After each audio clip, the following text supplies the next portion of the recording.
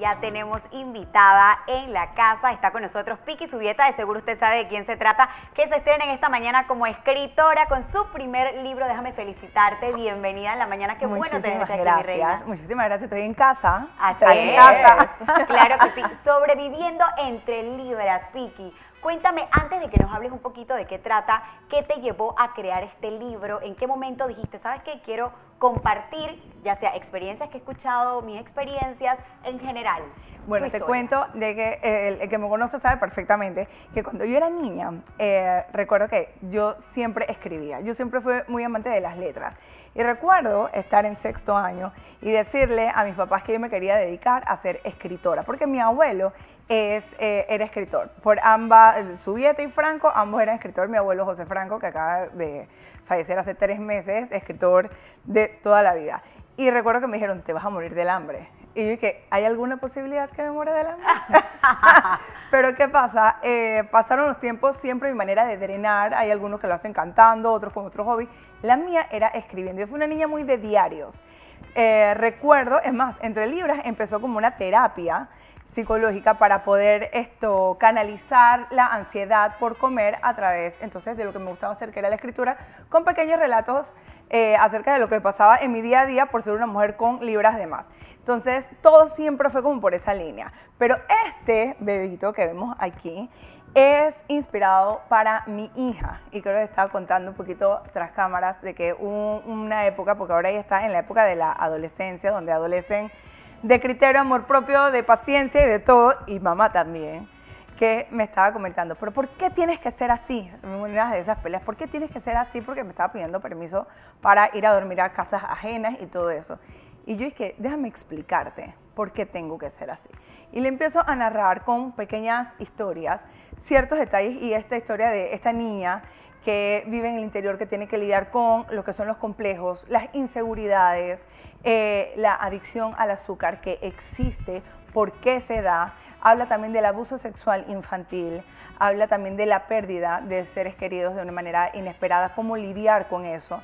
Y entonces, y explicarle a ella de una manera eh, cómoda, porque son relatos muy fuertes, cuál es la situación que muchos, que muchos viven. Entonces, vamos a decir que es como una biografía novelada, a donde realmente también hay un poco de muchas, de muchas historias de muchísimas personas. Y bueno, este es Sobreviviendo entre Libras. Vicky, te estrenas a lo grande porque vas directo a la Feria Internacional del Libro. Cuéntanos cuándo va a ser esa presentación en la feria y segundo también tu preparación para escribir este libro porque no es fácil. Yo creo que una de las cosas que eh, se dice es que antes de uno morir deben que escribir un libro, sembrar un árbol has escrito este libro. ¿Cómo fue tu preparación para esto y cuándo va a ser la presentación en la feria? Bueno, te cuento, yo creo que la, la, preparación para esto ha sido a lo largo de mi vida. Creo que muchísimas, eh, este libro ha estado escrito muchísimo antes que me sentara incluso enfrente de una computadora. Por, como te decía, por los diarios y todo, simplemente esta fue una recopilación.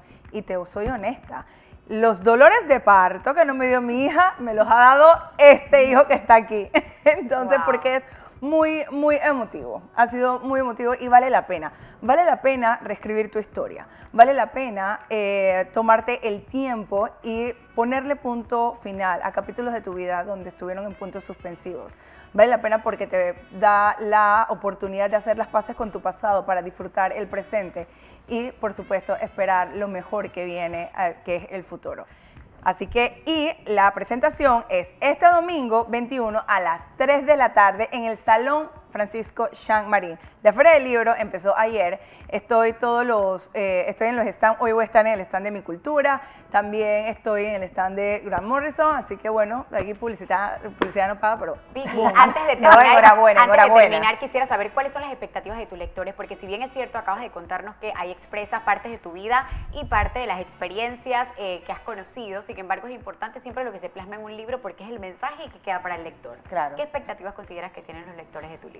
Bueno, está hecho con mucho amor y más que un libro, es un bálsamo para el alma y la, ha tenido muy buenos reviews. Y te cuento algo, en la parte de atrás del libro vamos a tener, eh, pueden encontrar eh, todas personas que se sienten identificados con alguna parte de la historia a dónde acudir en caso de necesitarlo.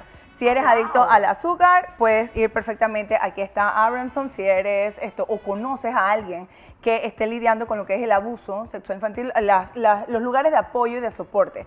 Porque esta es una herramienta para el alma, para el espíritu y también para el conocimiento. El hecho de que usted no haya vivido algo no significa que no se esté dando. Oye, Claro, hay eso. recomendaciones. Es un valor agregado, tener el contacto que muchas veces la gente no sabe dónde recurrir cuando te Así sientes es. abrumado por X o Y situación. Así. ¿Cuál sería el lector específico del libro? ¿Lo puede leer cualquier tipo de persona de cualquier edad? Sí, fue hecho para que mi hija, de por un lenguaje sencillo y, y que no aburre, y por eso te digo, con, corte- con pequeñas historias, consecuencias, eh, lo puede leer niños de 13 años en adelante, ya lo han hecho, eh, lo Es han amigable. entendido, es súper amigable y me han contado también que hay mamás leyéndolos con sus, con sus hijos, no nada más la niña, sino también con sus hijos y que los entienden y es una herramienta de complicidad también familiar. Bueno, mucho éxito, Piki, en esta Feria del Libro y que no sea el último libro, así es. Es el inicio de muchos que vendrán y sobre todo sea. brindándole ese mensaje y consejo a todas las personas que también lo necesitan. Un beso, mi reina, y siempre bienvenida por acá.